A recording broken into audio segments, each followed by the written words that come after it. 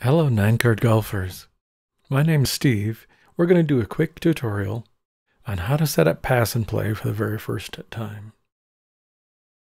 You'll notice that our Game Center player, this was this was uh, set up and logged into Game Center. Our Game Center player supports AI only.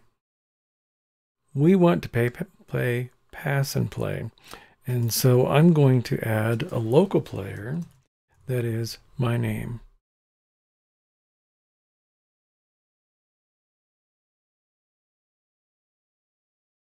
There I am.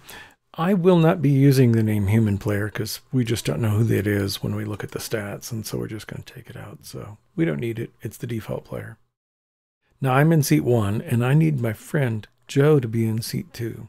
With this new version, you'll see that we have the ability to add friends and it tells us how right there. And so I'm going to go ahead and press this and type in Joe's name. And there we have Joe. And there I am in seat one and Joe's in seat two. So let's play a game. By default, we're set to play four hands. You can change this in settings. You can play 9, 18. That's more typical if you've seen our other videos. Here I have the cards set up. We're dealing out the cards. And you'll notice that I'm in seat one. My, uh, my name is here. My initial score is here. And I'm assumed to be sitting on this side of the device. We'll sit Joe at this side of the device and put the device in between us, and now the cards for him are oriented correctly, and my cards are oriented correctly for me. You'll see that we have counts when you read right to left. My counts are here, his counts are here, and it kind of reminds you how many cards you have left in the pile.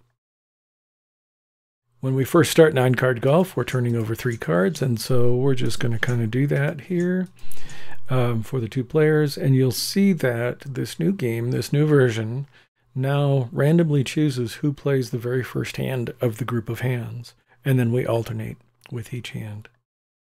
So Joe won the draw, and Joe's going to play first. We look at the seven. He has no use for seven, so he's going to turn up his top card. Likes the two.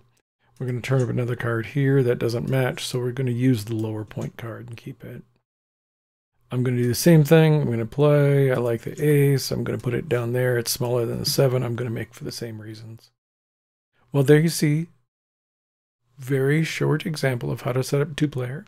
You see how the cards are oriented and how you just sit it across from the device, across from each other on the, at the device, and you're playing on the same board. Thank you for watching the tutorial. We hope you enjoy nine card golf as much as we enjoyed building it for you.